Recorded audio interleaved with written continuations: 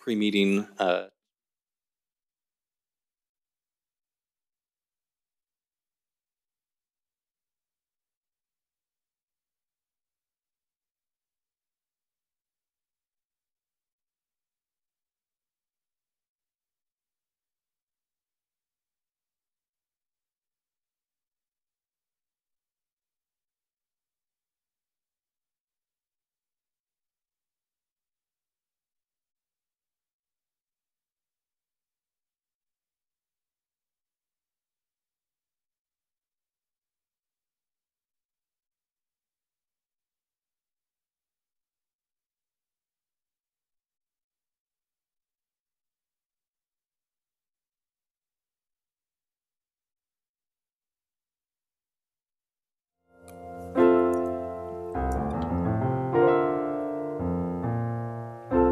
For as long as people have called this place home, they've been welcomed with clean air, clean water, and an abundance of nature. As time went on, people saw the need to balance how we build cities with how we protect farms and forests. That's why across Greater Portland, in 24 cities and three counties, there's one metro government that brings us all together to maintain that vital balance, to provide services across cities and counties, to create a better future together. Hello, we're Metro. We plan for housing, jobs, and safe transportation. We protect land, air, and water by managing garbage and recycling. We support arts and culture by overseeing local venues to keep the economy growing. And we connect people to nature across 17,000 acres of parks and trails and at the Oregon Zoo. Metro is all of us working together, connecting how we live today with how we plan for the future. Hello, we're Metro, and so are you.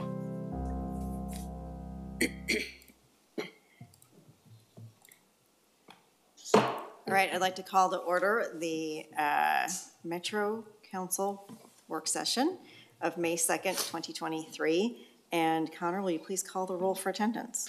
Yes, thank you, President Peterson. Uh, Councilor Gonzalez, Present. Thank you. Nice to see everyone again. you as well. Councilor Lewis, Present.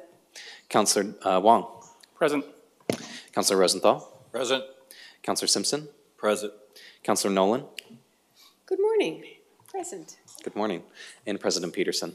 Present, thank you. Uh, Before we begin our agenda items, Connor, will you please play the in safety, the in safety, the in safety message for the in-person attendees? Thank you. I'm Micah Reese, and I'm the dive safety officer here at the Oregon Zoo. And safety is a big part of my job. Some of the things we consider here is diver safety. I'm out here at the Oregon Zoo, and you're at the Metro Regional Center. The council chamber is located on the third floor of this building. In the event of fire or fire alarm, please exit through the door in the northeast corner of the room, go down the steps to the second floor, and exit through the main entrance by the reception desk and gather in the courtyard outside the entrance. In the event of a medical or fire emergency, please call 911 and notify the security agent at the front desk. The nearest defibrillator is mounted on the steps leading from the reception desk down to Grand Avenue. Thank you. Great. With that, we will uh, get going with our presentations. We have two budget presentations today. The first one being the Diversity, Equity, Inclusion Department budget. Uh, We have uh, Cassie Salinas to present the department budget. Come on up. Sorry, there's more than that. Everybody come on up. You're the next.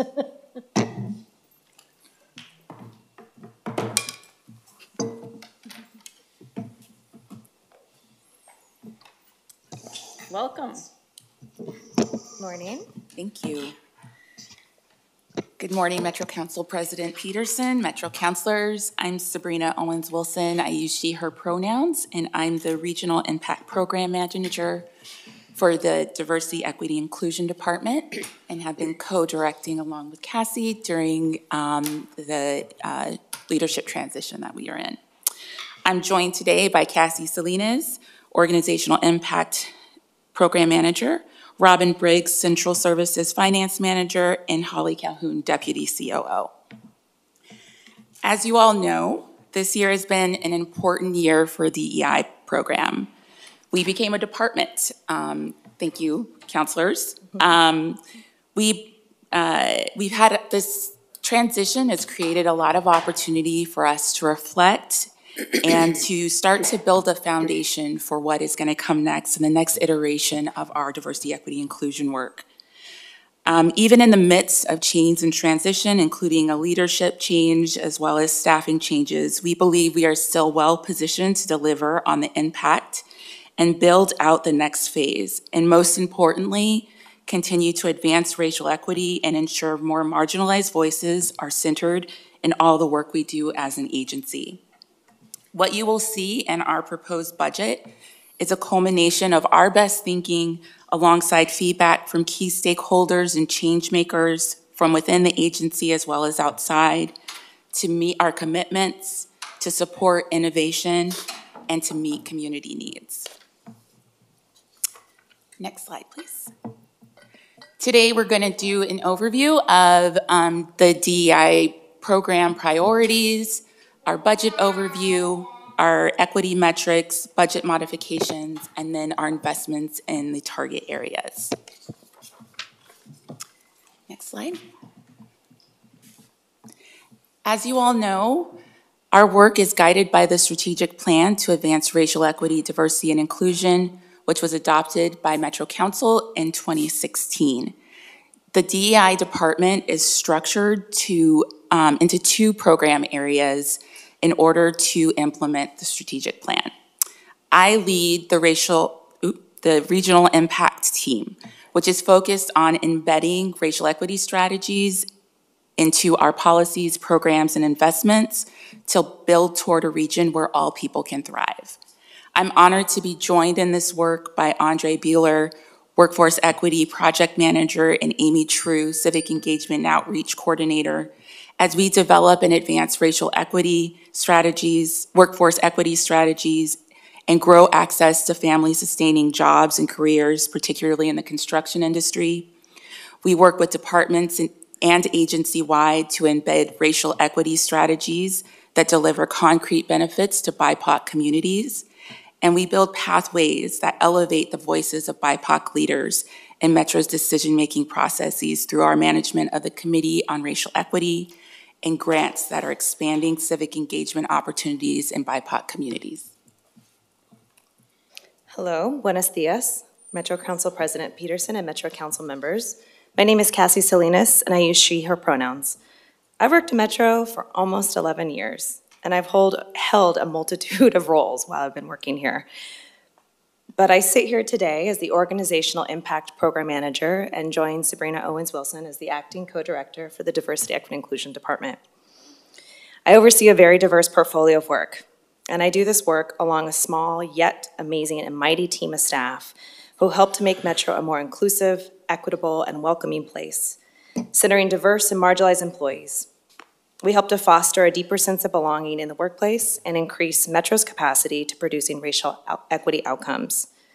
Leadership Development Coordinator Nyla Moore, Equity Analyst Sabrina Tina Catalina, Metro's first Accessibility Program Manager Heather Busick, and Melly Palafacino, who provides admin support to my team, and I all do organizational change work in a variety of ways. We work in partnership with many, many colleagues in central services, including human resources, communications, finance, COO's office, employee comms, to help shift hearts and minds, as well as provide tools and resources to help make Metro more equitable. My team oversees our equity literacy efforts to increase staff's capacity to lead this work. You may have heard of our retention tools and leadership tools like the employee resource groups. We currently have three, um, right now focused on supporting staff of color, our black staff, and our Pride ERG, who are encouraged to participate up to two hours of paid time each month in meetings. They get a chance to advocate for change and also find moments of joy together. We will be expanding this opportunity with an increase in our budget for up to two additional employee resource groups this next fiscal year. And our team is getting better at measuring our impact and tracking the action steps taken in the strategic plan to advance racial equity, diversity, and inclusion. And we will, will be preparing for the refresh of the next iteration of the strategic plan. And we're setting up for a new program to ensure that we're in compliance with Title II with the American Disabilities Act, making sure that the disability community is centered in our planning and programming efforts. We do this, plus so much more, and I am honored to do what I do. But our team is truly bigger than us, and we can't do this work without our many partners and friends without the agency, as well as our dedicated racial equity leaders at Metro who are passionate about achieving racial equity and justice for people of the global majority. And we have much more work to do. Next slide. Over this past year, my team has focused on systems change, changing practices, changing policies, and the ways of doing business at Metro. As I mentioned, we've hired Metro's first accessibility program manager, Heather Busick, who started in November, who's building on the existing compliance efforts and internal systems established by many of my colleagues, some that are here, some that are not here today. Um, I want to call out Nathan Sykes in OMA, Kayla Martin in the COO's office, and many of those who helped us um, complete Metro's first ADA transition plan and to help us better coordinate Metro's accessibility work. Heather will be engaged the, with the disability community and will kick off our first Accessibility Advisory Committee later this year. My team and I have embedded a racial equity analysis, or rather the use of a racial equity framework in the agency, which has been utilized in dozens of projects and programs at Metro. And as you all know, this is year two of utilizing the budget equity tool for our budgeting process. It's been a wonderful opportunity to forge partnerships with our finance team to integrate this new analysis into our systems and practices around Metro's budget process, providing more transparency and more engagement on, for our most impacted staff. And in partnership with HR, we've reviewed and updated new employee policies with frontline workers in mind and have rolled out mandatory DEI trainings, expanding our offerings to online as well as in person, which I will speak to about the impact later. And we've been hosting virtual meetings with racial equity leaders and change makers, which we call the Racial Equity Leadership Table, a resource that we launched during the peak of the pandemic to help build relationships across departments and support better coordination of racial equity efforts. These are just a few of the key priorities we focused on and will continue to fund and resource in the coming year. And now I want to hand it over to Sabrina to talk about her team's work. Thank you. So in the coming fiscal year, the uh, Regional Impact Team will continue to build towards systems change across the region. We will partner with project teams across the agency to advance racial equity strategies through community benefits agreements, application of the racial equity framework, and workforce equity strategies on significant regional investments like the interstate bridge replacement, urban growth boundary, Willamette Cove, and uh, Parks and Nature Bond implementation. We will continue to be a regional convener for construction careers, supporting our regional agencies in their implementation and coordinating through the Regional Collaborative Committee, which raised $2.9 million for workforce development in its first year, and managing the collective oversight structure for the workforce agreement. Our efforts to advance shared prosperity will focus on getting to the impacts of construction careers on Metro's projects, getting the impacts on the ground in terms of jobs and investments. We are really invested in making sure our systems are effective and we're supporting contractors in being successful. We will also continue our work of exploring a sector-based good job strategy focused on green jobs that builds on the success of construction careers and coordinates and leverages the collective efforts of the departments to create good jobs with career ladders.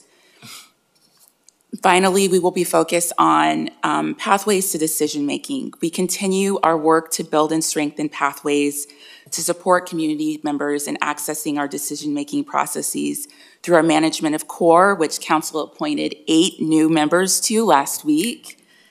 Um, and continuing to build the civic engagement capacity building program, which is investing in five organizations that are growing and empowering BIPOC leaders across the region.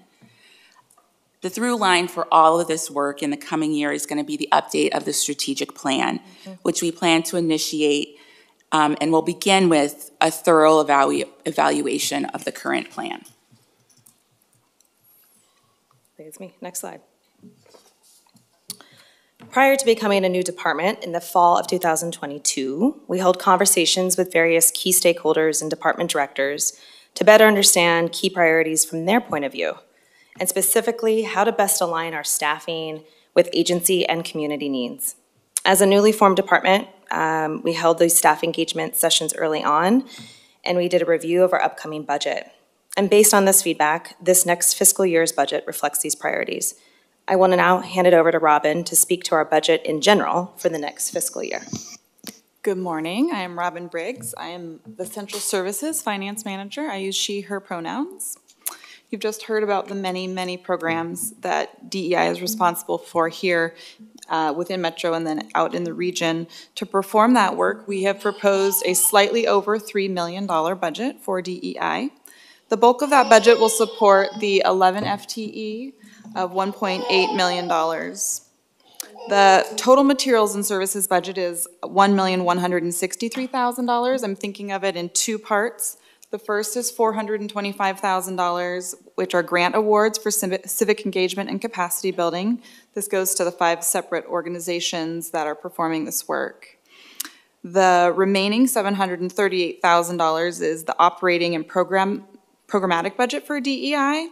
That funds the programs and functions that they're engaged in, and it's the basic operating needs, computers, training, staff development for the internal staff of DEI, as well as the outward-facing work that's performed. There are several modifications to the DEI budget. Um, we will talk about those in a later slide, but those numbers are included in these numbers here that I'm presenting. So I will turn it back to Cassie to discuss um, the equity impacts. Okay, next slide. First, we want to acknowledge and thank our tremendous staff who helped ensure each department has an equity metric identified in this year's budget. I want to give a huge thanks to Sabrina Tina Catalina for her support, as well as our partnership with FRS, including Patrick Dennis, as well as our former staff, Reed Broderson. And a big thanks to Brian Kennedy, Cinnamon Williams, and Andrew Scott, Marissa Madrigal, and for their leadership in supporting all the amazing, and all the amazing finance leaders that have helped us along the way. This has been a great first step to help us better measure our impact, particularly in our budget work. So you may know, we're here today. We took a little opportunity, we asked if it was okay to speak to more than one equity outcome for each of our respective program focus areas. So I'll start with the OI metric, and then Sabrina will speak to the racial, um, regional impact uh, metric. So we can go to the next slide. As you may know, we provide learning opportunities that increase equity and inclusion competencies for all of our staff and also for our elected officials and for our community partners. Over the years, we've provided hundreds of hours of trainings with leading experts on educators on topics regarding privilege, unconscious bias, disability and accessibility, gender equity. These are just of the few topics. While my team supports all of our staff in increasing their knowledge in regards to diversity, equity, and inclusion, this past year, we focused on measuring the percentage of Metro supervisors and managers who had participated in D mandatory DEI trainings. Managers play a critical role here in helping create a more welcoming and thriving workplace, and it can make an employee's experience rewarding, challenging, or worse. So our equity metric was based on the percentage of managers or supervisors who've attended a mandatory DEI training with a target goal of 80%.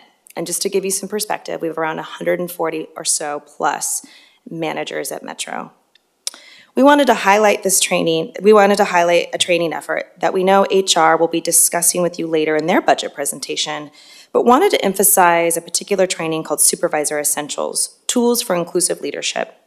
It's a series that help managers and supervisors and directors go deeper and reflect on trauma-informed principles, and ask participants to learn more about power dynamics and power structures in the workplace, and provide these managers with tangible tools and resources to build more inclusive teams.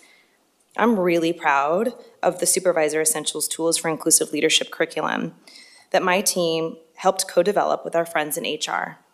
This work was done in true partnership with staff Robbie Cotterell, Lauren Nixon, and Chris Martin, as well as Julio Garcia, who provided leadership support and guidance in this effort. Keep in mind, we launched this series during virtually during the peak of the pandemic.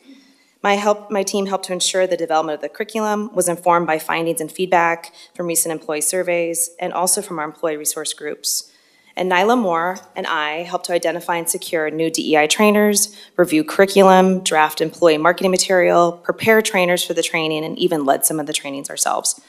And I'll tell you, we witnessed real-time aha moments of transformation in many of my colleagues and recognize that we are all on a learning journey of undoing the internalized impacts of white supremacy and racism, including myself.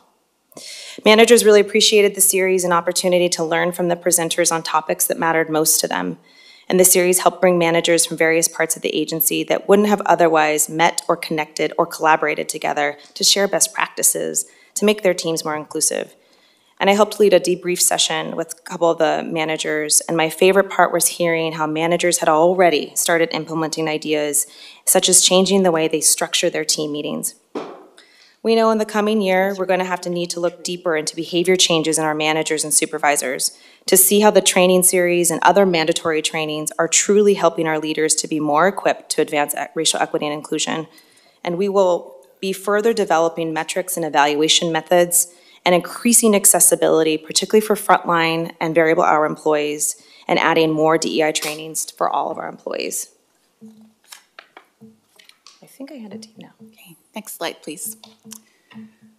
For the regional impact um, equity goal, we are focused, the, the goal that we're reporting on is for construction careers, coordinating regional jurisdictional partners and industry stakeholders to advance and implement the construction careers regional framework in order to create career pathways for women and BIPOC workers into the construction industry. So born out of the, of a community ask um, in the strategic plan, our work is, continues to be focused on convening and leading the regional strategy that is capturing the full benefit of public investments in capital projects by ensuring BIPOC and women workers can access the life-changing careers the construction industry offers. We now have nine jurisdictions in the region that have made policy commitments and are implementing construction careers, working together to set and achieve diversity goals, invest in workforce training and wraparound services, shift job site culture to ensure workers have a safe, harassment-free, and welcoming work environment, um, and track and report progress and stay at the table to problem solve and learn together. This slide I am particularly excited about because there is a new partner on this slide, which is TriMet, a critical partner to have in this work, a recent addition, and we're looking forward to continuing to build together with them. Next slide. So the metric that we're reporting on is the total dollar amount of capital projects covered by the Regional Workforce Equity Agreement. The development of this agreement was led by Metro's DEI team in partnership with the City of Portland and Multnomah County, and this is one of the first multi-jurisdictional workforce agreements in the country that is rooted in racial equity. This agreement includes full implementation of construction careers pathways, the full suite of workforce equity strategies, and pairs it with strong protections for BIPOC and women-owned firms. This fiscal year, the Construction Career Pathways Regional Workforce Equity Agreement will cover $723 million of public infrastructure projects. One of the 13 projects have broken ground, and the rest will start construction in the coming year. So by this time next year, we will be bringing the numbers and the stories of BIPOC and women workers whose lives have been impacted by this investment. Next slide.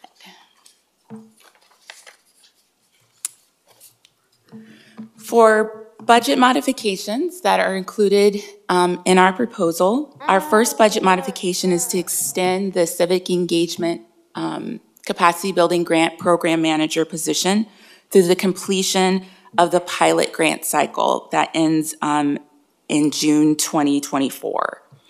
Our second um, modification is resources to support community engagement, communication, and storytelling efforts for the strategic plan to advance racial equity, diversity, and inclusion update.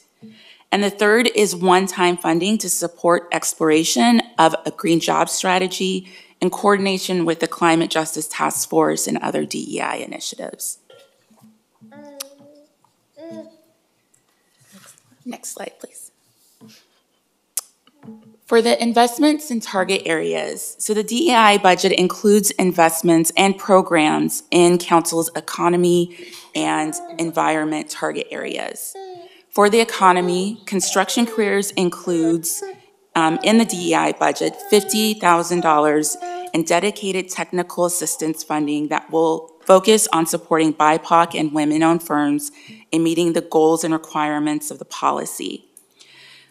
We will administer in coordination with capital assets, $175,000 in investment and workforce development, which will support outreach, recruitment, and retention of BIPOC workers on metro projects. In partnership with Planning, Research, and Development, we are managing a 2040 grant that is supporting a community development collective of organizations serving Black communities in planning for a Black Worker Center focused on transforming work conditions for Black workers and growing civic leadership. And then we will continue our work to strengthen equitable recruitment and um, retention strategies for Metro employees. For the environment, as mentioned in the budget modifications, DEI will explore the opportunities for um, agency-wide coordination around green jobs and career pathways. And as we've discussed, um, the update uh, for the strategic plan, we have identified climate and displacement priorities um, for the update. The strategic plan update really is an opportunity to develop and embed a unified strategy for how we're advancing racial equity in each of the target areas. We look forward to working with council in our collective effort to achieve better alignment.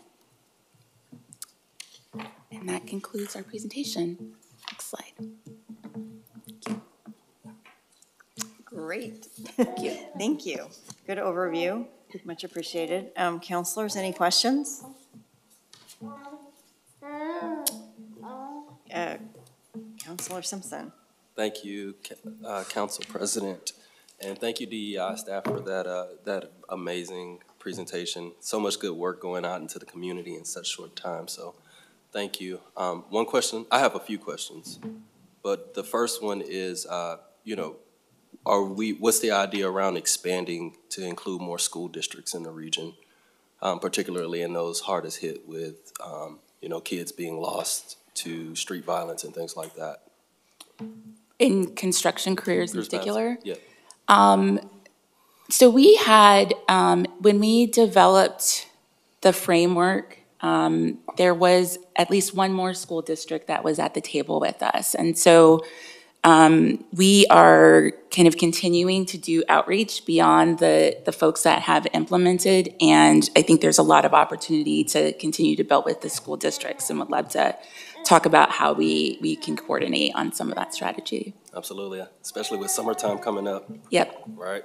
Yep. Um, my next question has to do with the trainings. Mm-hmm. Um, is there a timeline to completing, um, like the fundamentals training and the inclusive training? Because I, I saw thirty-three percent for supervisors on that, um, leadership training, and I, I feel like that's pretty low. So what would it take to get a supervisor to hundred percent and how long? Yeah, that's a great question. I think it depends. Right now, we've required that uh, managers need to go through as- this, this foundational training and then this, the tier two. And We're exploring ways to make it more accessible and ensuring that all of our managers know that they need to participate. Uh, It takes, it's a, it's a, it's a large commitment. I can't speak to the hours of time, um, but it is at least a nine-part series um, for, for a manager to participate. So definitely, we're going to be exploring ways to communicate, to be working with our directors to ensure they understand the value of why these types of trainings need to be um, completed. And then we've been working with HR on offering more trainings that are um, focused on this type of inclusive leadership to provide uh, online tools. So many of these trainings could be done in person, but we're trying to look at the both hybrid option.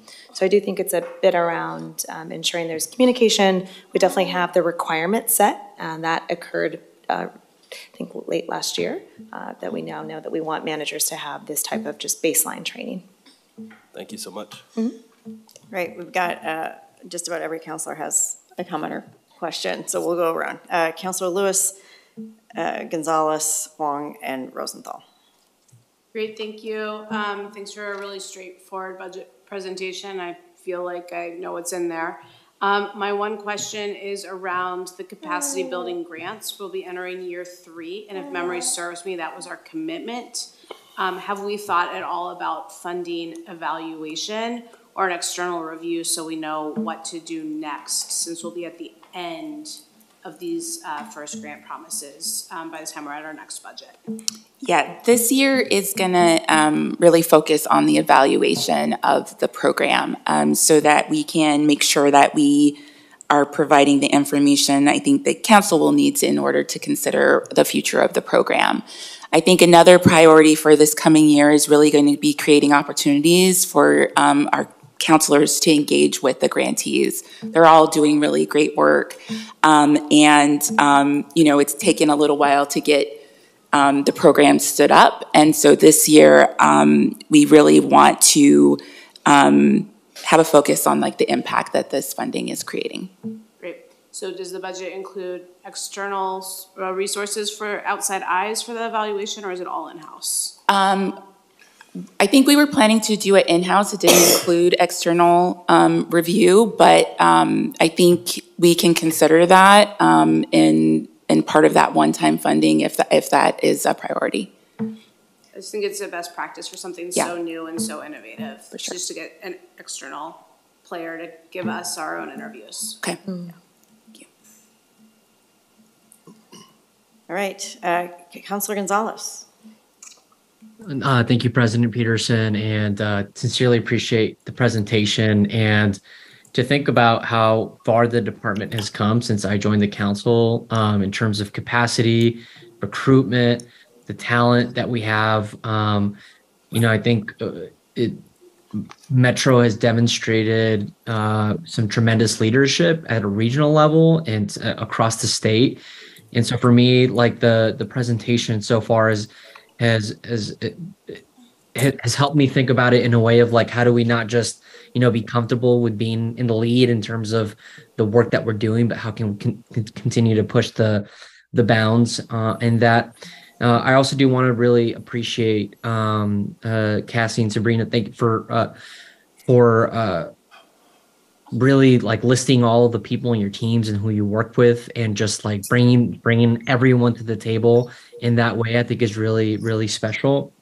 Um, my question um, with obviously the department being in a, a period of transition with with Raahi leaving, um, I- I'm wondering, you know, wh- what would you say the most um, uh, the, the the challenges that you faced during COVID, and how will those inform your work kind of in this new phase of the region, the economy, and and and you know that taken all of everything that we heard from our community partners, from industry partners, to where those opportunities lie. Um, and you know you, you're very you're a visionary leader, so I I just want to kind of tap into that.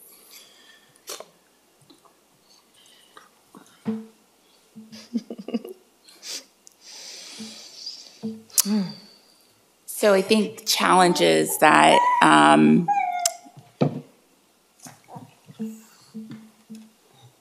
that we um, faced during COVID, I think um, uh, not unique to the DEI team, but I think going from being very connected and um, together to being dispersed um, uh, in a remote work environment um, for much longer than anybody expected um, was was certainly a challenge. And I think some of the things the that that we did together we weren't able to do.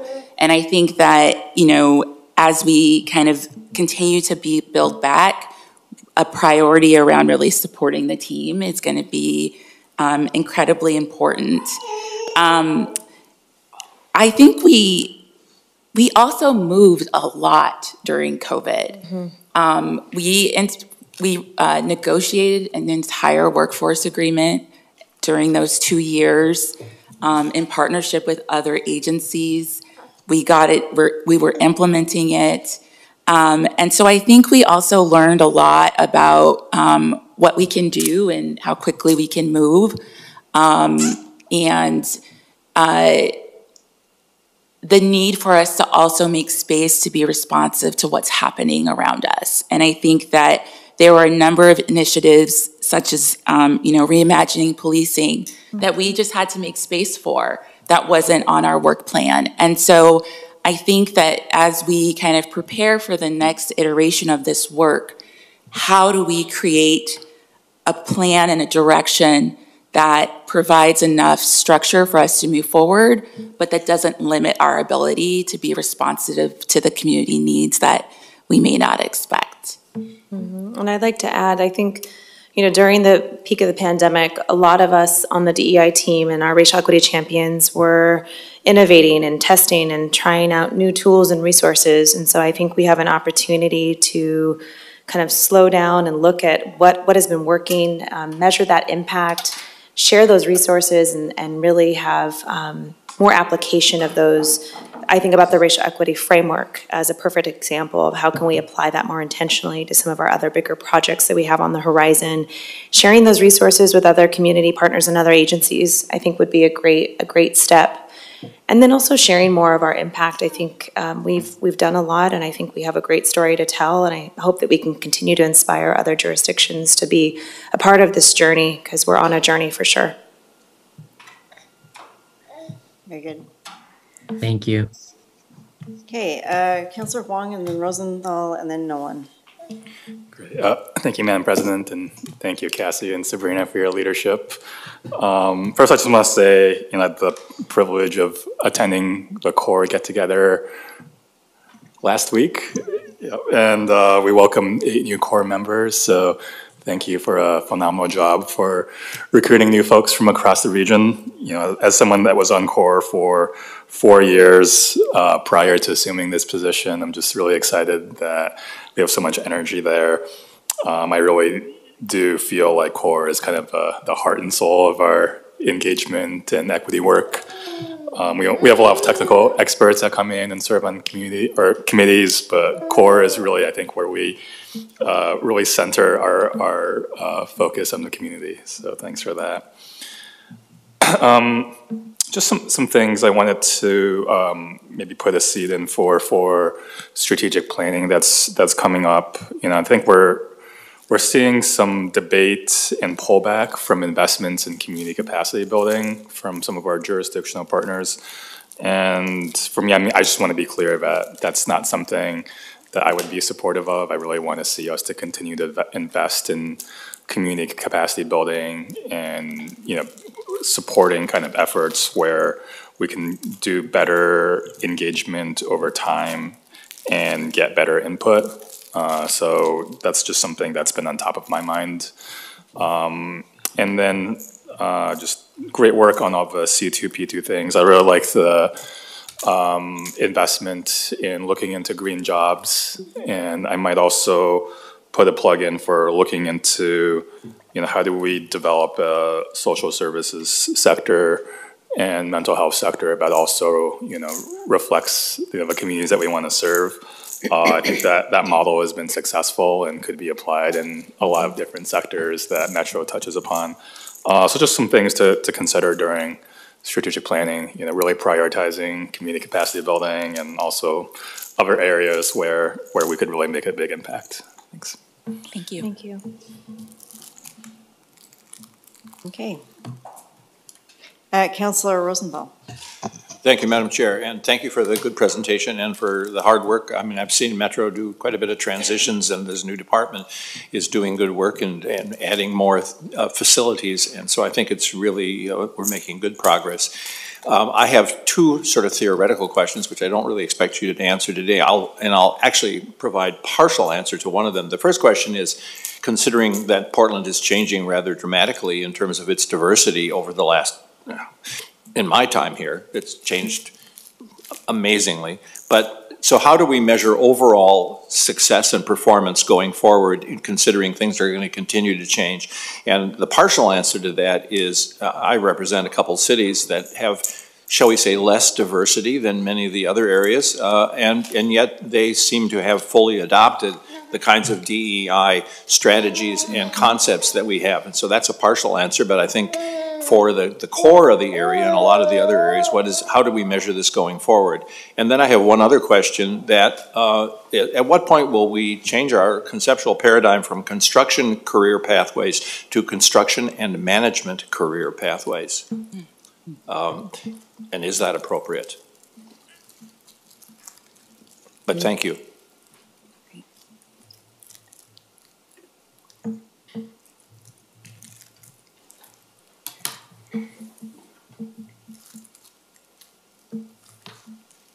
Th- Those didn't require answers at this point in time. We can, Are we gonna follow up then? So I think um, for how we're um, managing or measuring success, um, I think that um, over the past year, we've been working on uh, a, a kind of unified approach to how we're measuring our racial equity work um, through results-based accountability. I think we have a lot more work to figure out how we're going to apply that. Um, but for that to be a measure that, a, a way that we can get really clear on um, who's better off because of the work that we're doing. Um, and so I do think um, there's definitely some opportunity there. And, um, you know, um, I really appreciate your comments about, um, you know, some of the cities that have less diversity that have taken this work on. And I think that um, in some ways that's a that's that's kind of the sto- that's an interesting story for the the the region overall. When I kind of talk to other um, uh, you know people from other parts of the country um, and and the I think the strong leadership stance that we have taken on racial equity, um, even though we don't have the the, the most diversity, um, I think we have managed to do a lot here and shown a lot of leadership. And I think that continuing to build with um, all of the jurisdictions of different sizes is um, going to be really important. Um, and then on your comment around construction and management pathways, I mean that is that's that's the dream. It's it's not for supporting contractors and workforce being in tension with one another, Hmm. but that our our efforts to open the door to the industry are about opening the door all the way up to management. And so um, I think that's a really interesting thought. Thank you. Anything to add? Okay, Okay. Good. great. Councilor Nolan? Thanks, Madam President. Um, Batting cleanup means that many of the um, acknowledgements and praise um, for the work you've done has already been made, and I want to echo what my colleagues have talked about in terms of successes. I have a couple of specific questions.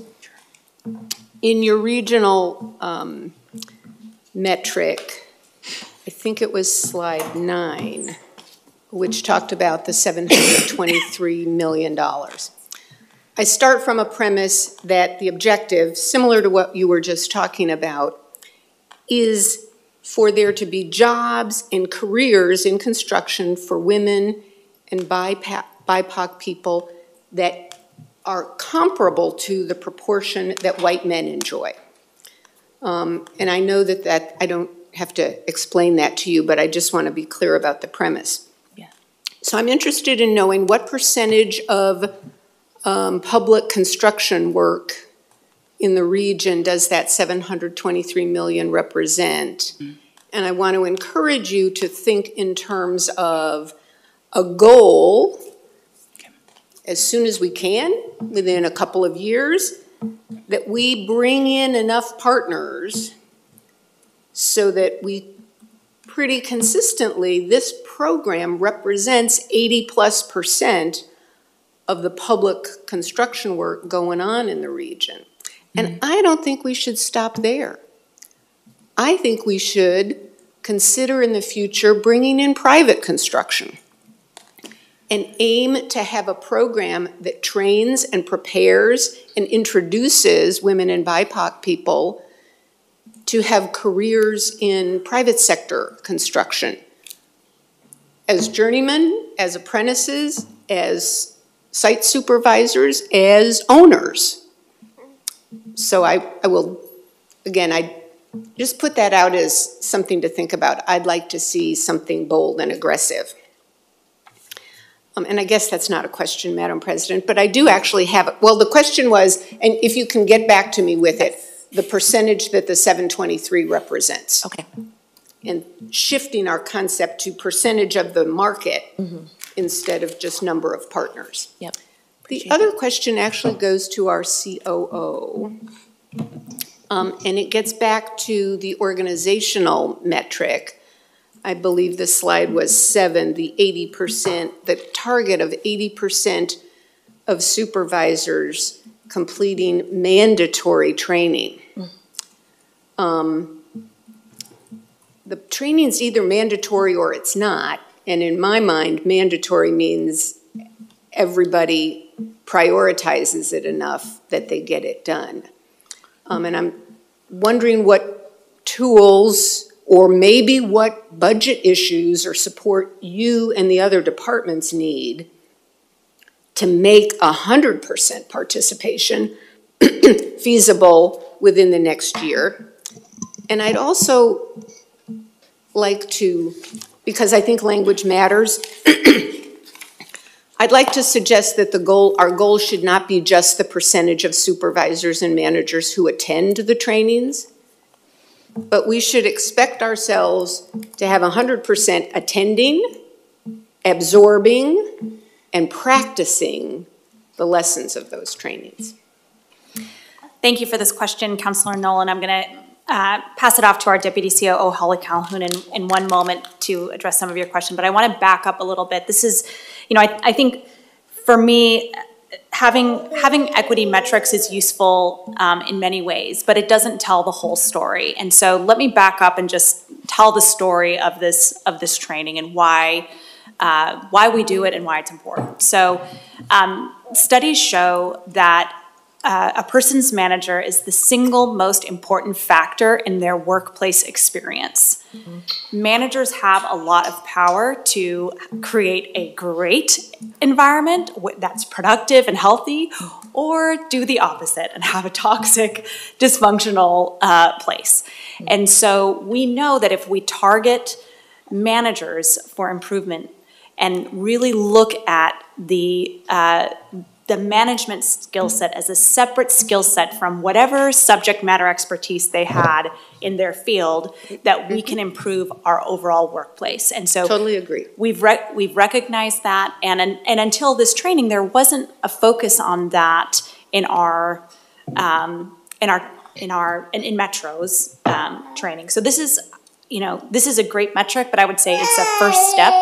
And I and I agree with you. Mandatory trainings are should be mandatory. It should be 100%. I think that the um, we've been been doing this maybe two years. It was launched in March of 2021, so we've only had a a short period of time of having this series available for our managers and supervisors. That's right. And so roughly how many managers are there at Metro? How many a- people does this apply to? Around 140? 140 over. Yep. 30 or 40? 140. 130? Yep. Okay. Um, so I think, you know, we will get up to 100%, you know, barring at any one time with new managers coming in. Before we talk on this subject next year? I'm sorry? Before we talk on this subject next year in the budget? Um, yes, I mean, I think Okay, great. that's absolutely achievable. Um, I, I think, you know, the only reason why it wouldn't be is, again, if there's turnover and we're measuring in a moment where, you know, people haven't had a chance to take it yet. Um, but Holly, I'll, I'll hand it over Thank to you, Councilor Nolan. Holly Calhoun, Deputy Chief Operating Officer. Um, the eighty percent is based on turnover. We calculated average to have a reali- realistic metric. Um, the benefit of it is that we have now developed reports so we can actually look at participation and overlay it with turnover. So ideally, we can increase that percent to a higher percent moving forward. Um, to your point around other qualitative measurements, yes, we want to overlay this with employee engagement survey results. Yep. Are folks experiencing a different relationship both in their work and with their supervisors? Great. And then I think uh, Julio, our HR director, might be speaking to an HR, HR dashboard where we are also focusing on turnover, or more importantly, retention of employees of color and other non-dominant identities. So I think these are relational metrics that we need to be looking at in partnership, and I do agree, I hope that that eighty percent can increase to a point that is realistic based on turnover. One final comment. Realistic is a pretty mamby-pamby term. I want to encourage us to aim for ambitious, bold goals. And frankly, I would rather you aim for a really, you know, landmark kind of goal and not quite get there then aim for a, oh yeah, we can do that easily goal and surpass it. Me personally. Absolutely, appreciate that. Okay. Um, With that, I guess I just wanted to thank you all for an amazing year of work and and over COVID. Um, You you did get a lot done, Um, and I think we're growing um, a a lot of the programs and understanding and being able to have quite an influence region-wide on making some progress there. Um, I think the one thing that just, how does your budget reflect maybe this conversation that we had started to kind of just have the conversation around, um, as Raahi was leaving, around how we work with the region around the notion of shared prosperity. And have you thought about any of that? Because I think we, you're not at the point where we have found a lot of the barriers and removed them within our own organization, working with the region to remove a lot of barriers. Not that we have done it all, there's still a lot more to do. But how do we also bring in the educational element for people to be in the same room together and learn from each other? Where I, I feel like it, we have that opportunity to do that kind of cross fertilization and let people like work out really tough problems together. How, how do we move in that direction, or how does the budget move us in that direction? One of the things that I know that um, I think will be important for the DI team to continue is um, Raahi was bringing together the um, equity officers from around the region. And I think that, um, you know, continuing that work, I think it's such a powerful group of leaders and there's so much opportunity. And I think that um, i- on any project, on any of the work the DEI team has done with a regional partner, the equity office has been a key partner. And I, so I think that um, um, that could be a place where some of that shared prosperity conversation could could live. I think also um, I think that's a great space for the education components, like you're saying. Um, and so I think kind of as we get through the transition, I do think that there um, is some opportunity to pick back up that space and, and think more about that work. And I would echo that, everything Sabrina said, but that, you know, we've got dollars set aside for our training budget, and we always, or we like to look at ways to leverage those resources to share those learning opportunities, and we do open our doors to many of our partners to sit alongside us as we do more training. Does that, I mean, I'm, I'm thinking of the universe of the entire region, um, and so does that include, I, love all that, but does it include when you're talking, um, partners? Is that jurisdictional partners, or is that the broader definition of, like, businesses who have DEI directors and businesses who want to know mm-hmm. what we're doing and how to get involved and how to bring it to their company and, and right? I, I'm looking at the broader mm-hmm. conversation. We've mm-hmm. got, we've got a lot of partners in the region, and I'm not sure that we're, we've reached out, just from capacity mm-hmm. sake, mm-hmm. that we've reached out and been able to touch and work with everybody so that they're all being brought along of a, and with an understanding of what we're trying to achieve. Mm-hmm. Yeah. To, to decrease misunderstanding, right? So I, I would just encourage you to think about that, and obviously it's a capacity issue, because it's a big task. Um, but as we move forward and we start to grow, I would think that that's one of the spaces that we would want to grow into and think about. Mm-hmm. Great, thank you. Thank you. President Peterson. Yeah. Thank you for bringing up shared prosperity. I think that that's, that's one piece of the application of a racial equity lens is Mhm. asking who, who is benefited by this decision and who is burdened by this decision. Um, and I think that, that to me is the exciting work of this team and, um, the council's framework and the guiding principles that we have. Because at every decision that we make, we have an opportunity to ask that question and then make a decision that um, is toward a more equitable region, Yeah. so.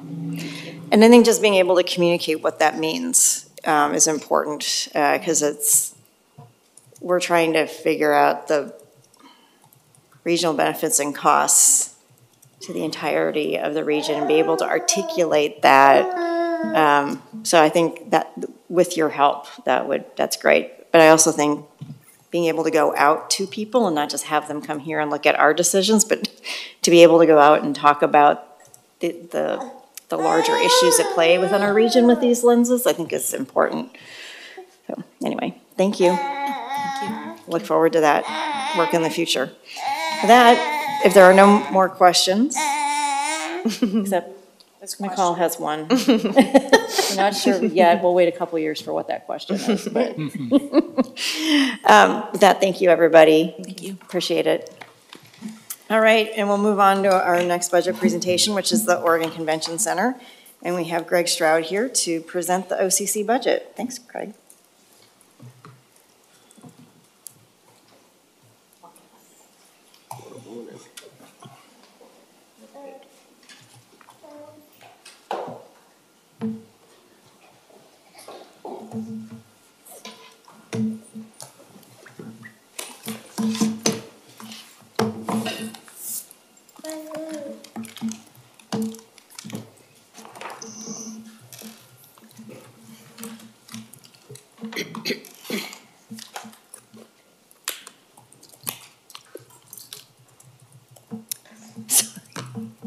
There's news out there. Yes, there is. Big news in our state is Sad happening right now. Apologies. Um, With that, moving on, Craig, welcome, and uh, go ahead and start your presentation on the budget for 2023-24. Well, thank you so much. Uh, Well, good morning, Metro Council President Peterson, councilors. I'm Craig Stroud, he, him pronouns. I'm the Executive Director of the Oregon Convention Center. Joining me this morning are Michelle Hedegaard, OCC Director of Equity and Belonging, and Will Norris, our Finance Manager. And on the end is uh, Steve Faulstich, General Manager of Visitor Venues. Next slide, please. Our presentation agenda is on the screen, and as you can see, we intend to cover four primary areas in our presentation, with the majority of our time uh, reserved at the end for council discussion. Next slide, please. Some key things you're going to see throughout our presentation are shown on this slide. Uh, With that, we're going to jump right in so we can save time at the end. Will Norris will now present our overall base budget. Thank you, Craig. Uh, Next slide, please. I'll begin by noting um, the unique development process that the Metropolitan Exposition and Recreation Commission- Commission, or MERC venues, go through. This proposed budget for OCC, shown here in millions of dollars, is the product of a MERC budget retreat in December, followed by two committee uh, meetings early this year, um, and finally approval during MERC's regular uh, March meeting before being rolled into the Metro proposed budget. Uh, Next slide, please. Uh, The majority of the Oregon Convention Center's resources are self-generated charges for services. These are primarily from um, items like space rental, technical services provided to clients, parking, and food and beverage sales. Continued recovery in demand is expected for FY '24, both from an existing backlog of events that had to be delayed during the pandemic, but also from new business being booked through current marketing efforts.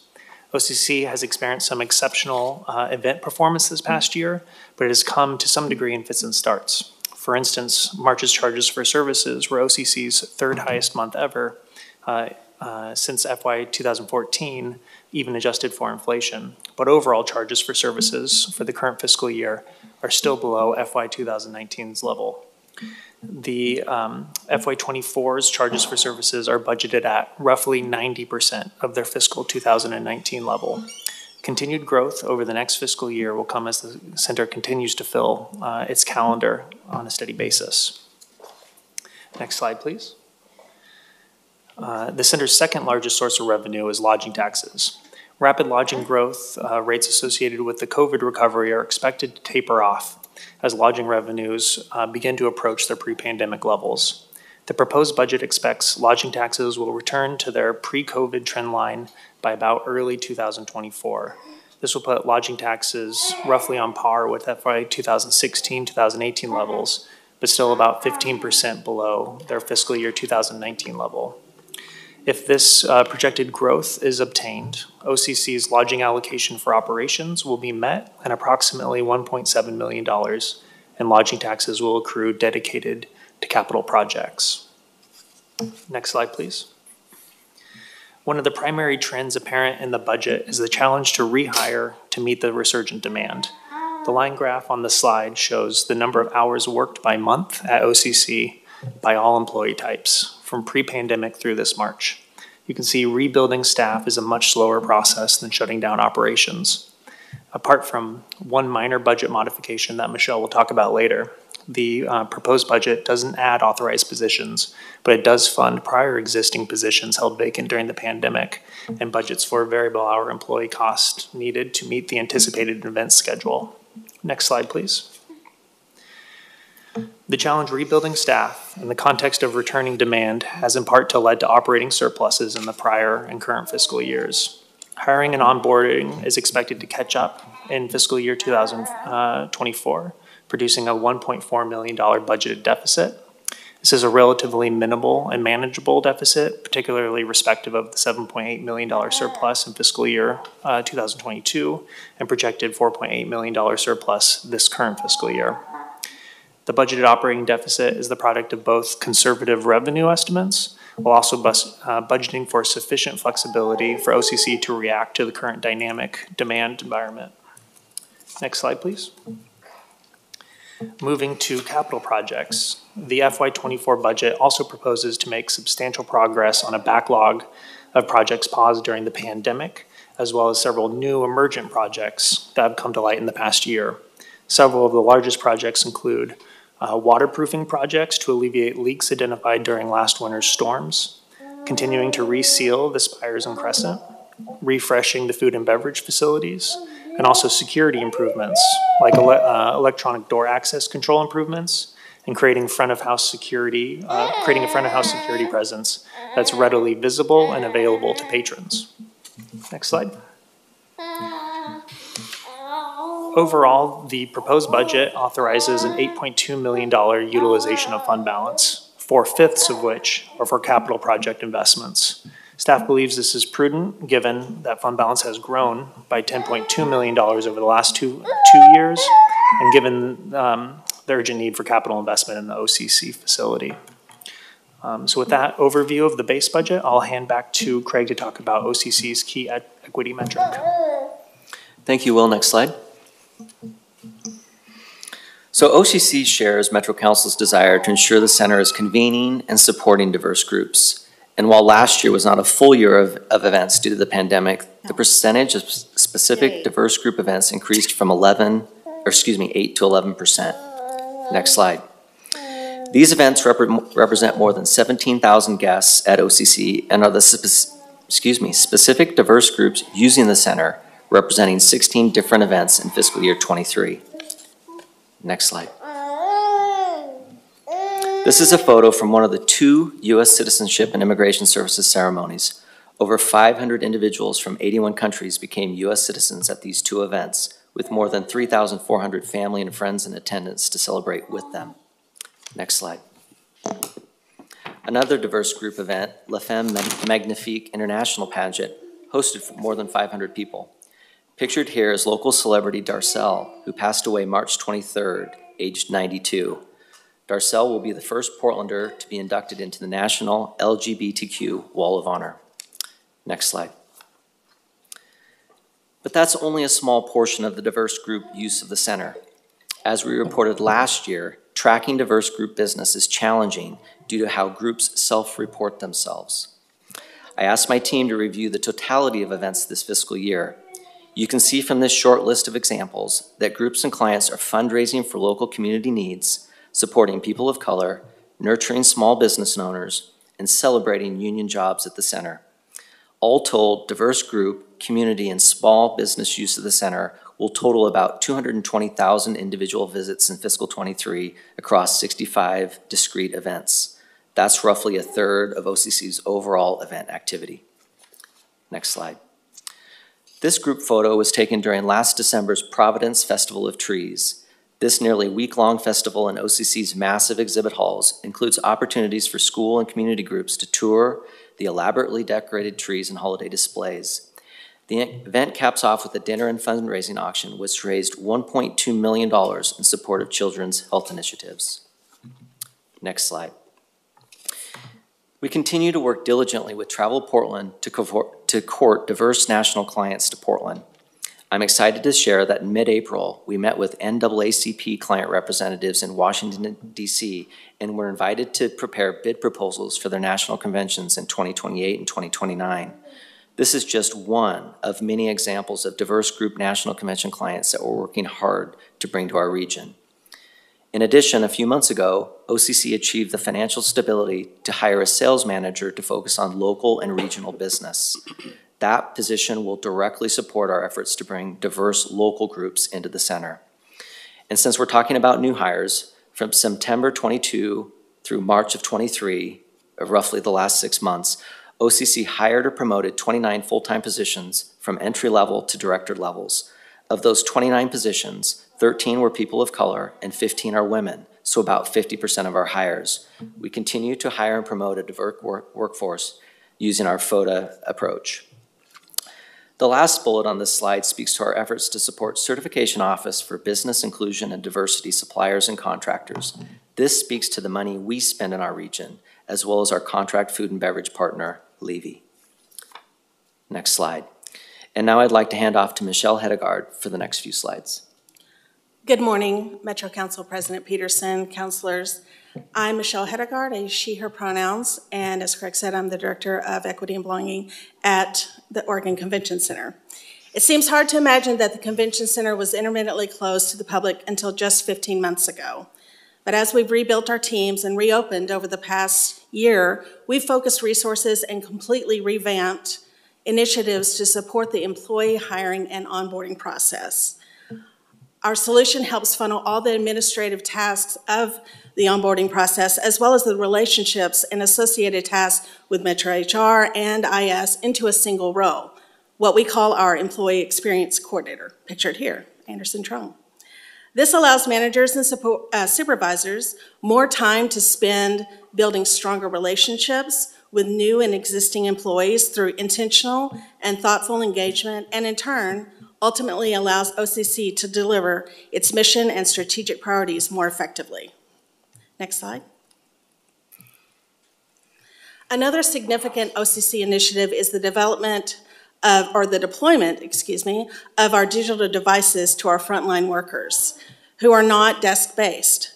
Given the remote work technology advancements that blossomed during the pandemic, many of our systems and processes became web-based. This technology shift opened the opportunity for OCC to provide the same technology I use at my desk to those working in and around the center. Because in the past, many of these teams relied on paper resources or verbal instruction to perform much of their work throughout the day. Um, but through this initiative, frontline staff now have iPads and individual email addresses.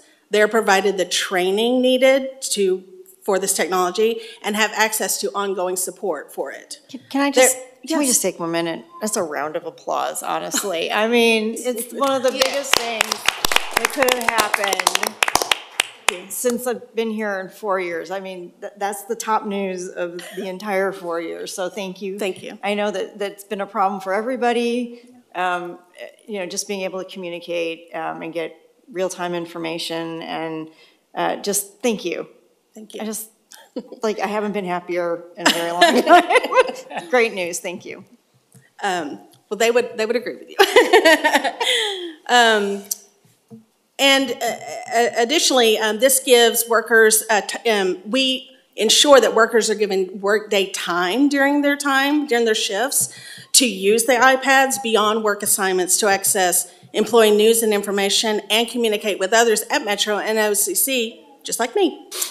Um, This investment also provides access to Metro's on-demand online learning opportunities where there was once a barrier. This program continues to evolve, and we're excited for the improved employee experience that not only contributes to the workplace experience of individuals, but also contributes to the overall success of the organization. Next slide. OCC um, has only one budget modification request for fiscal year 2024, a full-time training and development coordinator position to provide enhanced support to OCC staff that would be focused on designing, developing, and implementing programs to support uh, employees at OCC. Um, this would help to strengthen employees' existing job skills, ensure upskilling opportunities are available for jobs that require new or greater skills, um, and along with managers, uh, this position would identify job opportunities for employees and support their interests and aspirations through coaching and other professional development support. And we're going to continue working to build upon our inclusive technical ecosystem, which aims to close the technology gap. That is the goal. Because we know that upskilling opportunities help to lead to in-demand, upwardly mobile career paths. And while this is our only budget modification for 2024, we know you are watchful of our continued actions regarding our racial equity action plan. And I'm excited to share a few of our year four upcoming projects and initiatives that speak to that work. We are currently embarking on a community engagement initiative to inform us on ways to increase the number of events held at OCC by BIPOC, communities and through understanding the barriers these potential groups face and ways we can support them. A likely challenge for many is cost, but there could be other probable factors as well, such as the scale of the center compared to their smaller activities, culinary desires, and client-specific needs. Before 2025, we are also working to authentically address the historical harms related to OCC's location and status as a government entity by creating a public-facing, community-informed, and community co-created educational display on the history of the Albina neighborhood. And lastly, we're in the early planning stages of creating large banks of all-user restrooms on level one at OCC for use by any person regardless of sex, gender identity, or gender expression, insurance compliance with the Americans with Disabilities Act. Thank you for your time, and I'll pass it back to Craig. Thanks, Michelle. Um, what is not shown on this slide are a series of actions and plans to enhance public safety at the center using existing council-authorized positions and spending authority. This fiscal year that we're in right now, OCC reclassified three vacant positions to public safety agents and created and hired a new leadership position, Director of Public Safety. These four positions bring the total OCC public safety team to 15 individuals plus variable hour agents. And as Will mentioned, we have three projects totaling more than $3 million in fiscal 24 and 5 that are focused on public safety. They are upgrades to our digital camera system, creation of a Department of Public Safety console and office, and safety enhancements to our main entrance at the Martin Luther King Jr. entry. Next slide. This final slide shows the overall economic impact, jobs supported, and taxes generated from events at the Oregon Convention Center. Fiscal 2019 was the last full year of activity prior to the pandemic. In fiscal 22, we were just reopening to events and meetings, and the center's economic impact dropped $400 million, with nearly 4,000 fewer jobs and 15 million less in state and local taxes. I really want you to know that we in Travel Portland and our local hospitality partners are actively working to reverse this trend. There have been some amazing wins recently the National Education Association's 2025 annual meeting and representative assembly with forecast economic impact alone of 18 million and 35,000 hotel room nights is confirmed for July of 2025. This is Portland's largest convention booking on record. Next slide, please. That concludes our formal presentation, and we'd be happy to take questions. Great, thank you. um, Councilors, any questions? Councilor Lewis, and then Simpson, and then Gonzalez. Sure, thank you so much. Incredible work. Um, I really miss being liaison with MERC because I love getting the reports of who's coming through every month. Um, so you gave us a little bit of a sense of that with your, um, bookings chart here. Um, in terms of it being a welcoming community space, uh, I just want to make sure that you mentioned, uh, your new security lead position. Um, is the budget resourced enough so that when that person, uh, needs additional resources, trainings, materials, etc., we have room in the budget for, uh, action to be taken to continue that work? Council President Peterson, Councilor Lewis, yes, I believe we have enough flexibility and that's a priority area that, that we will find the money if there's needs that, that would be positively and useful. So yes, we have the flexibility to do so. Great, I don't want us under-resourced in that area. Concur completely. Um, the other area that, uh, I worry about, but is, uh, not directly in our scope of control, is making sure that our food service workers that are contract, uh, are getting what they need, um, in terms of still getting full support, uh, from us as the Metro contractor.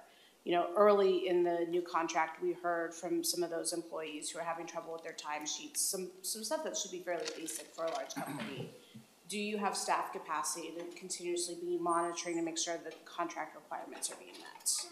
Obviously, the food and service are great. I'm just making sure that the back end, the back of house business stuff is being taken care of. Councilor Lewis, yes, we meet, um, I meet monthly with the general manager. Steve Faulstich meets monthly with the general manager, and we get periodic report outs where we go through the, um, the metrics and the uh, obligations embedded in the contract. Some are capital, some are operational, some are uh, performance. Um, and yes, so we, we do work through those things like time cards, time card anomalies. There's not a monthly standard conversation. That's as, as ad needed conversation as we learn about things. Um, but for the most part, uh, the, the contract metrics, if you will, are reviewed regularly and, and we're ensuring that they're moving along with us in a positive direction. Great, thank you. Thanks. Councilor Simpson, Gonzalez, and then Rosenthal. Thank you, Madam President. Uh, thank you, Craig, and your staff for amazing presentation. Uh, I know it's been a difficult time we've all been through, and we're on the rebound, and that's obvious with the numbers we're seeing. Uh, I just have a small question, really around the training and development coordinator's position. Um, how often do uh, career progression opportunities make themselves available for staff to seek promotion? Well, Council President, uh, Councilor Simpson, I'll, I'll take the first shot at that, and then I'll let Michelle speak to some of the specifics. But um, I've been at OCC roughly six years, uh, just coming up on six years. And when I walked into the organization, the tenure was unbelievable. Um, it was a it was a, a, a place that people hired on and stayed and promoted potentially, but stayed for very very long term. Um, we're in this rebuilding phase with uh, the pandemic where we lost countless numbers of staff, and some chose to um, maybe do other things or stick around and have rehired back. Some changed their career path and have gone on to other things. Um, but what we've seen is, is some really bright spots where uh, folks have matriculated up in the organization, maybe moved laterally into different career paths that have uh, more upward mobility. We've seen a fair amount of that. And it's very positive to have those opportunities to provide and to see staff that, that are moving into those that have been with the organization. Yes, um, I will just add that um, we also are just very mindful about communicating opportunities. Um, that is absolutely built into the um, digital device um, program because before um, employees didn't know there were opportunities. They, they weren't communicated those. And so now we um, specifically identify them and with this training and development coordinator, they would work with managers to see like where, you know, what employees are looking for, where do they, where their aspirations lie. I mean, we have been told, um, I've been told by, um, you know, utility workers, uh, my only path is being a manager. I don't want to be a manager. It's like, there's a lot of opportunity out there, um, not just at OCC, but uh, as at Metro as well. So it's like finding those opportunities, connecting the dots, connecting the, the folks, and then giving them the skills and opportunities to build to where they can tackle those jobs and get them. Thank you. Okay, Councilor Gonzalez. Uh, thanks, President Peterson. Um, yeah, I want to agree with what Councilor Lewis and Councilor Simpson have shared. Um, and it, it really feels like our session today with the with with uh, updates has been uh, full of uh, good news, optimistic um, signs, I guess you could say. Um, you know, I really um, am uh, feeling hopeful, good, all those things with regards to the direction of OCC and the value that tourism offers to our economy, the role that that you know that that that we play in in how the world accesses our region and how our region accesses the world. And um, I I'm just really thrilled with the presentation today. Um, I appreciate that the uh, that the ask that uh, for for an increase is focused on investing in our people and in building skills um, and in continuing to make um, uh, the the venues uh, just a really really um, great place to work. Um, I, I I really applaud the the the efforts taken to uh, uh, increase access to technology, to uh, internal communication. Um, as President Peterson mentioned earlier, um, it, it's just something that that brings me so much joy. Uh, when I when I was first elected, we we took a tour with uh, a lot of the the the rep folks, um, and you know really just hearing about you know people the that, that love their job and just the little things that make such a big difference. Um, and it, it feels like we're we're doing those things right now, and, and I'm really grateful, and I want to call that out. Um, and and more than anything, want to want to communicate that that this council is really um, supportive of of the work that you're doing, and just you know whatever we can do. Thank you so much. Thank you. Great. Uh, Councilor Rosenthal and then Hwang. Uh, Thank you, Madam Chair. First of all, I want to echo what the other councilors have said. Uh, Kudos to uh, OCC and the staff. All the reports I hear are good. The food is, when I've been there, uh, the food is good and imaginative and, and tasty. Uh, I've gotten reports from vendors at the recent coffee convention that the place was good and probably their preferable spot compared to the other national venues that they go to. And I, I think I mentioned I talked to one of the people who was affected by our recent contract negotiations and said actually things might be working out a little better than previously. So things look good. My only question is, uh, we're with my uh, policy advisor, we're going around to the some of the outlying cities and talking about uh, economic drivers and economic things. And, and I mentioned um, the OCC as an important economic driver. Um, if you can give me one or two key points that I should be mentioning to these um, regional councils that don't get to the OCC as often as they should, um, that would be appreciative. So, I mean, what are the key things I should be telling them? Sure. President Peterson, uh, Councilor Rosenthal, um, now you're in my wheelhouse, right? This is what we love to talk about. Um, what you can tell them is that OCC is part of a larger ecosystem. And, and for our national clients is where the economic impact really comes from. It's over $400 a day that each delegate will spend in our region on services, um, goods, wares, travel, hotel, et cetera. But it's over $400 a day. But as part of that ecosystem, it's everything from the air flights in, the baggage handlers, the food service outlets at the airport that transition into, you know, TriMet ridership, Lyft and Uber and, and taxi ridership. Um, they're going to stay in a hotel, and they're going to use the amenities of a hotel and all the service workers in that hotel. Uh, they're going to go out shopping. They're going to go to restaurants. Many of them will tack on a day before or after to head up to the wine country, to the uh, to the coast, or up to Mount Hood. And so our economic impact, I think it's it's a series of concentric circles. Obviously, the closer you get to downtown, the bigger that impact. But it is impacting the entire region and, and probably the entire state at some level. And the dollar amounts are not insignificant. That said, I will tell you that OCC, while we are relatively healthy, having come out of the pandemic, that's not true for many players in the ecosystem. Um, hotels, we were, we were told uh, two months ago that 70% of the hotels in the city are continuing to lose money. So they've, they've borne a couple of years now of pandemic losses, and that's continuing. It's really because uh, uh, leisure travel and business travel is down. Convention travel is up, but we're only a piece of the overall um, travel into the region. And so while we're relatively healthy, um, they're still struggling. And to me, that looks like jobs. That looks like jobs in those hotels. It looks like restaurants that depend upon those those folks to come to lunch. You know, think about the Lloyd area that we reside in and how how many fewer restaurants there are compared to pre-pandemic and, and loss of those business owners and the jobs associated. So we're still in recovery. We're healthier than the ecosystem, I would say, in general, um, and we're working diligently to try to reverse that. Thank you. You're welcome. Right, uh, Councilor Hwang. Great. Uh, Thank you, Madam President, and thank you for the presentation and all the great work. Uh, It seems like things are uh, recovering quite nicely. Um, I wanted to ch- uh, shift the conversation just a bit to, um, oops, the slides on kind of the um, diverse community and small business uses. Uh, And I, you know, really am excited that OCC is such a regional economic driver. Um, but I am actually really excited about kind of the diverse and small business uses. And, you know, part of the, the, I think what what I'm seeing here is like the goal of OCC is to support regional commerce, but also be your friendly neighborhood convention center or uh, community gathering space.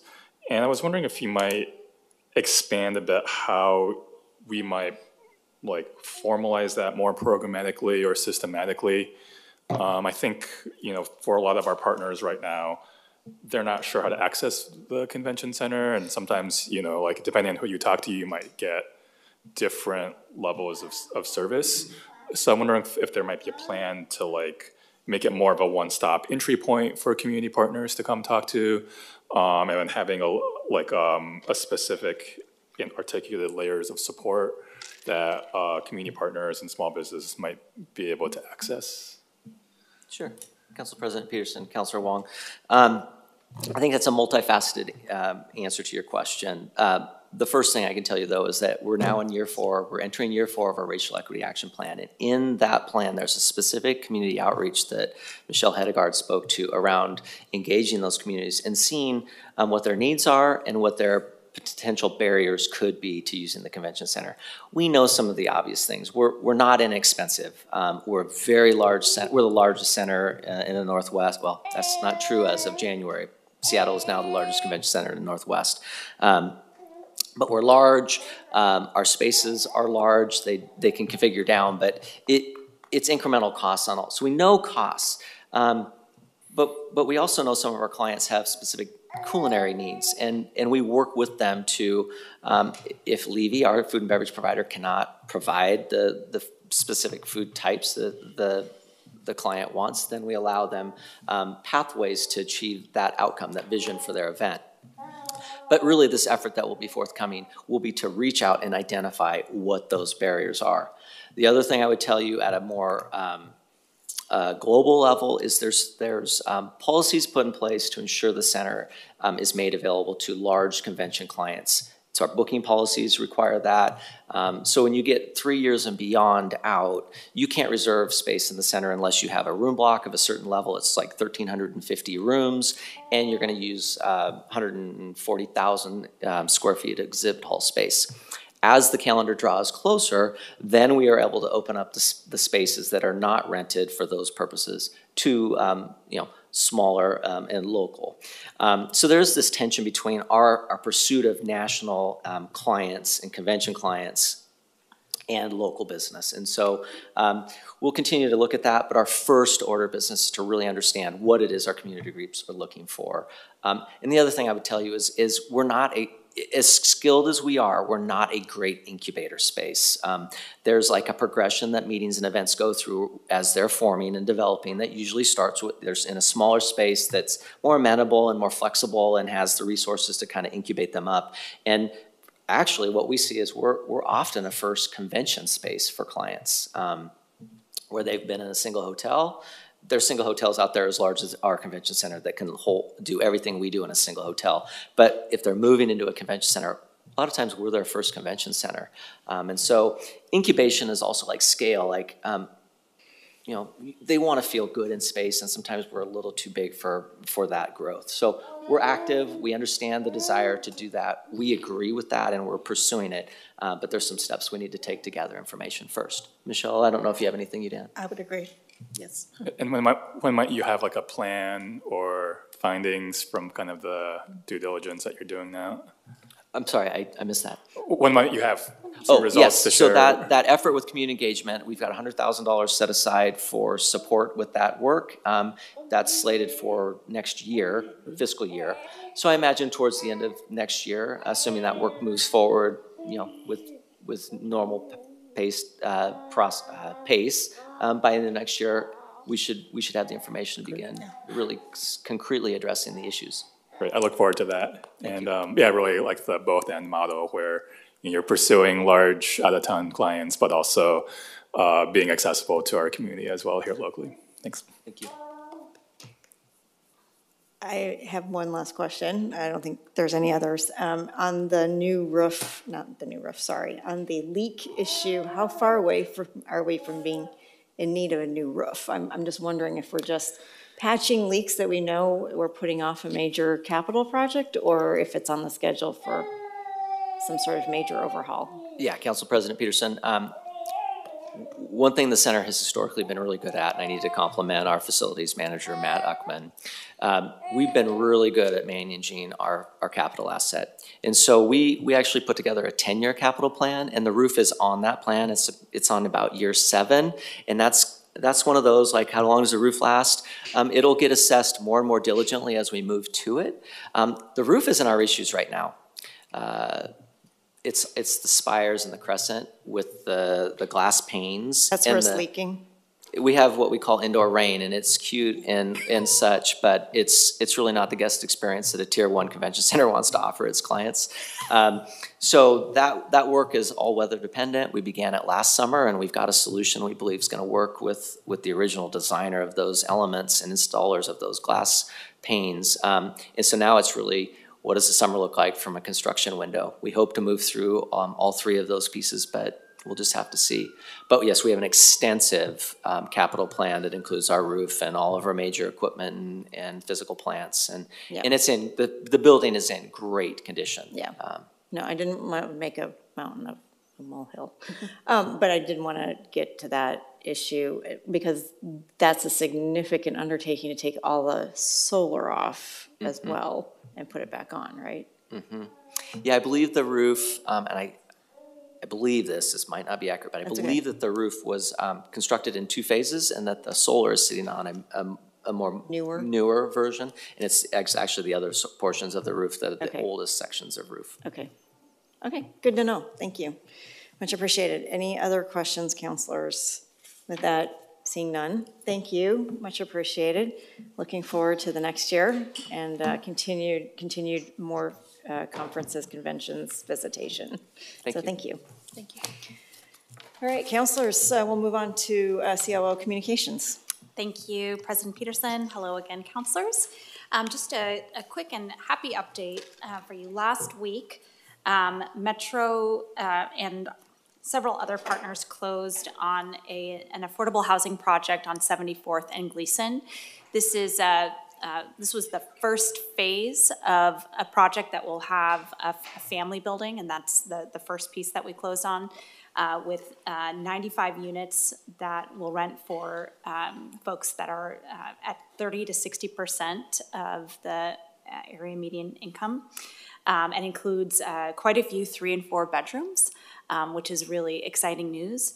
Um, There's also a- an additional phase that's planned that will have um, permanent supportive housing as well as um, a, a school um, and uh, daycare, I believe, preschool um, in, in one corner. So um, exciting news. A lot of different funds came together to make this one happen.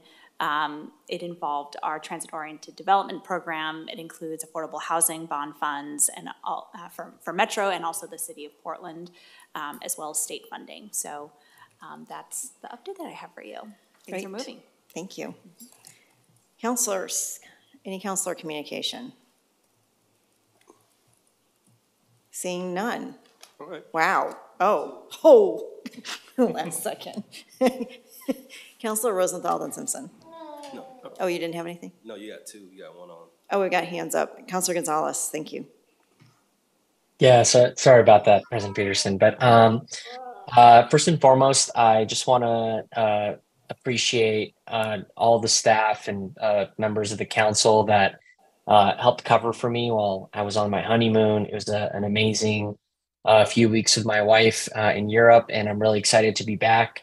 Um, and I just really wanted to um, thank, uh, in particular, uh, Councilor Lewis um, and Councilor Simpson, uh, Councilor Rosenthal for a lot of the projects that we're working on together, that we share some kind of leadership role uh, for uh, just you know stepping in and, and doing an incredible job uh, means a lot. And so I just really appreciate it and uh, uh, feeling really energized uh, to get to work with y'all. So uh, got a lot of work coming up and uh, especially with the RTP and we have our JPAC trip in, in June. So uh, I'm excited for all that, but again, um, wouldn't be possible without your support. So just wanted to, to thank you. Great, thank you. Councilor Rosenthal. Thank you, Madam Chair. Uh, last week was sort of a busy week. Uh, first of all, I had a meeting with Sherwood on their Cedar Creek Trail crossing. Now, as you know, we funded the um, extent or, or, development of the Cedar Creek Trail, and then it comes, it, it, has a culvert under Highway 99W, and so that's something that we, you know, we can't fund ODOT projects directly. At any rate, so uh, shout out to uh, Representative Neron. Both uh, she and, and, Senator Wood's representatives were there at a meeting to talk about the, they're asking for $600,000 from the legislature. It's still live, whether Ways and Means will give it to them. Uh, so she's been a leader in that uh, regard, and that's something that'll probably come back to us, hopefully, for perhaps a trails. It's a, an important trail connection to the Tonquin Trail and goes to the Wildlife Refuge, so that's important. Um, I also give a shout out to uh, Representative Neron for her activism on this recent issue with the tolling and the, the whatever we call it. Uh, there's been a some a break in the tolling process. Um, I had the opportunity, fortunately, to attend the uh, regional Clackamas County Cities uh, meeting and had some good discussions with Canby and with uh, Happy Valley uh, as usual, I asked uh, the mayor of Happy Valley, so what can Metro do to help? And his response was sort of interesting. Sort of said, well, we're doing okay, just let us do our thing. So I thought that was sort of an interesting response. And uh, Canby, of course, was worried about uh, the tolling project and diversion. Uh, so, and they're also working, you know, they're not in our district, but uh, they do contribute uh, people that come into the district to work. The Oregon League of Conservation Voters was an interesting uh, meeting. A lot of people attended, and as I mentioned to, to uh, Craig Stroud, the food was good, and uh, it was quite enlightening. Uh, it, it, emphasizes, however, the gap that we still are working on from housing in terms of developing wealth by getting people to own housing, not just providing rental. It's not. It's something that I know our housing team is working on. Uh, and roadshow. We had a roadshow with the city of Wilsonville last night, which talking about all the things that Metro does. Um, Metro staff is, uh, they were very happy about this new agreement we have with them about hazardous waste. We're going to be having hazardous waste events probably once a year in the fall with, uh, with Wilsonville. They're good about that. Um, and we promoted some of the sponsorship alternatives. They were interested in knowing how they could get into things like uh, regional refresh and uh, how they could get some of these community groups to contact us. And uh, uh Eduardo Ramos gave them some, you know, detailed information on how to contact it. There was also a good presentation on the Oregon Institute of Technology, which has a campus in Wilsonville and provides some very important training services uh, and that was sort of interesting. The president of the college was there, or the university, I guess they now call themselves.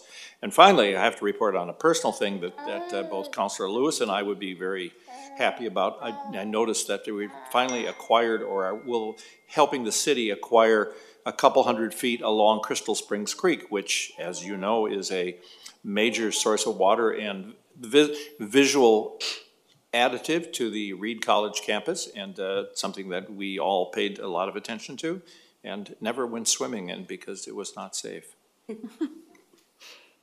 and with that, a note to safety. all right, Councilor Simpson.